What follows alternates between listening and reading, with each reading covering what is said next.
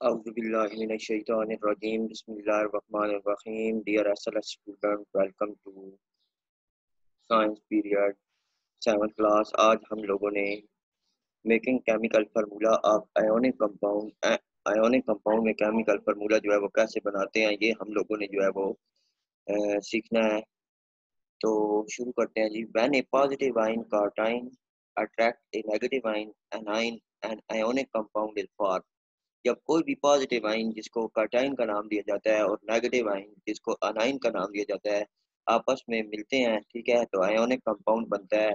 Sodium chloride NaCl magnesium chloride MgCl2 are example of ionic compound ठीक है जी to write the formula of ionic compound follow the step अब sodium chloride में Na जो है वो ये कैटाइन है, Na पॉजिटिव और Cl नेगेटिव ये अनाइन है। ये दोनों आपस में जो है वो मिलके NaCl बनाते हैं। इसी तरह MgCl2 Mg जो है वो पॉजिटिव है और Cl2 नेगेटिव ठीक है जी, अब जी राइट स्टेप हम पढ़ने लगे हैं। Write the symbol of positive ion cation on the left and symbol of negative ion anion on the right you में यूज़ टेबल 6.1 हाँ जी, अब हमारे पास ये देखें ना ए जी पे पॉजिटिव चार्ज है ना तो प्लस वन आ गया। और एस टू पे नेगेटिव चार्ज होता है सल्फ़र सल्फाइड आयन पे। तो ये इसका नेगेटिव चार्ज इधर ऊपर लिख दिया। स्टेप टू में क्या कहता है? Put the valency number of each ion with it charge on it top top right side हाँ जी वैलेंसी नंबर इसके पॉजिटिव या नेगेटिव ठीक है? और जितने इसने शेयर किए हैं। अब ए जी वन प्लस है ना तो इसका मतलब है ये एक इलेक्ट्रॉन दे सकता है। एस टू नेगेटिव है तो इसका क्या मतलब है कि ये दो इलेक्ट्रॉन गेन करने की सलाहियत रखता है। Interchange the valency number of both ion and write them on lower right side of each ion. Omit the positive and negative sign with cancel each other. remember that number one is also omitted. The method of writing chemical formula is called criss cross method हाँ जी अब इसमें क्या होगा कि cross होगा जी ए G one है ना और एस जो है वो टू है तो ये जो वन है ये इसके एस के साथ आ जाएगा और टू जो है ये जो ये है टू ये ए जी के साथ आ जाएगा। और यहाँ पे हमारे पास सल्फ़र सिल्वर सिल्वर सल्फाइड बन जाएगा। अच्छा जी, पहले क्या करेंगे जी? इसका जो कटाइन और अनाइन का लिखेंगे। ए जी वन प्लस था एस टू नेगेटिव था। फिर जी प्लस और माइनस को हमने क्या कर दिया? ख़त्म कर दिया। ए जी वन आ गया एस टू आ गया। अब जी क्रॉस करेंगे, यानी जो एस की जो पावर है, वो ए जी के साथ आ जाएगी। नीचे और ए जी की जो पावर है वो एस के साथ आ जाएगी और फार्मूला बन जाएगा। Write the formula for the compound composed of aluminium and oxygen है हाँ जी ए एल थ्री पॉजिटिव है और ओ टू नेगेटिव है। तो A L three O two आ गया, फिर ये जो ओ का टू है ऑक्सीजन का, ये ए एल के साथ मिल जाएगा ए एल टू बन जाएगा और एल्यूमिनियम का जो थ्री है ये ऑक्सीजन के साथ मिल जाएगा तो एल्यूमिनियम ऑक्साइड बन जाएगा। इसी तरह write the formula for the compound composed of magnesium and chlorine ion.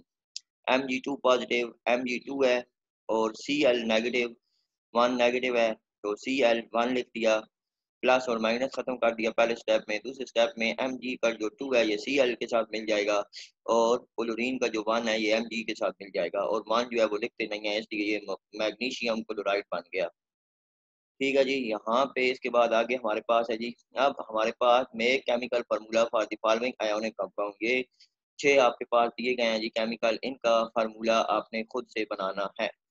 आगे हमारे पास है जी law of constant composition composition refer to the type and number of atom present in a substance in the late 1700 a French chemist uh, Joseph studied the chemical compound and present the law of constant composition.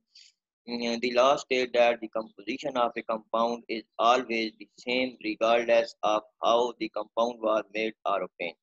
हाँ जी किसी भी compound की जो composition है वो हमेशा same रहती है ठीक है जी और के और हमें पता चलता है कि एक कंपाउंड जो है वो कैसे वकू पजीर हुआ है ठीक है जी तो कंपोजिशन इस इसके बाद ऊपर ये कहता है कि composition refer to the type and number of atom present in substance composition से मुराद ये भी है कि कितने, जो किस किस्म के आइटम जो है, मिले हुए हैं और उसके साथ जो है वो कितनी रेशियो है। ठीक है जी? For example N A C L है ना हमारे पास तो एन ए के कितने आइटम हैं और उसके बाद सी एल के कितने आइटम है। ठीक है जी? तो ये वन रेशो वन है।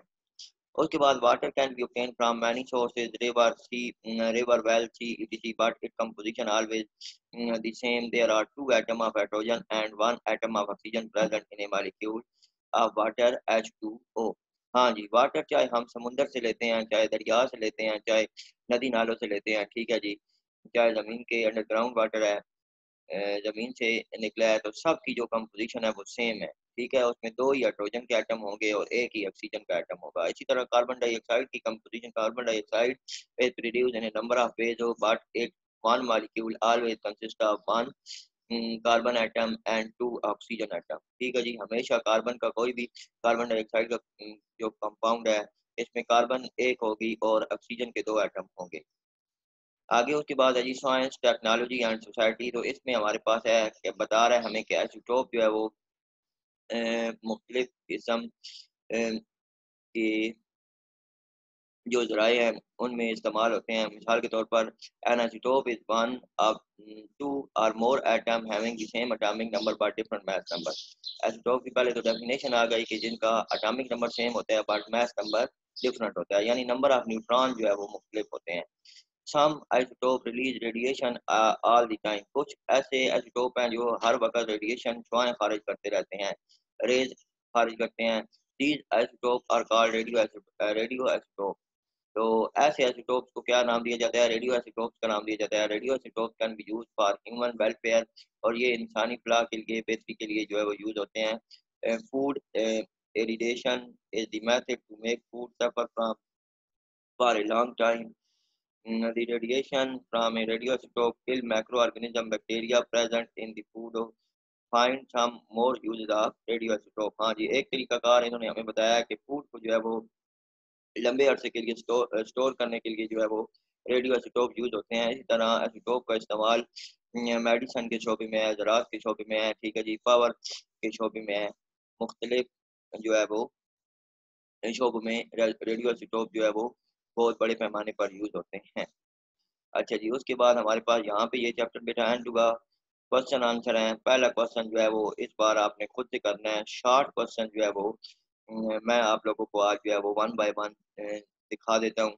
और उसके बाद long question topic to topic होते हैं। ये आप लोगों ने खुद से जो है वो describe structure of an atom ठीक है?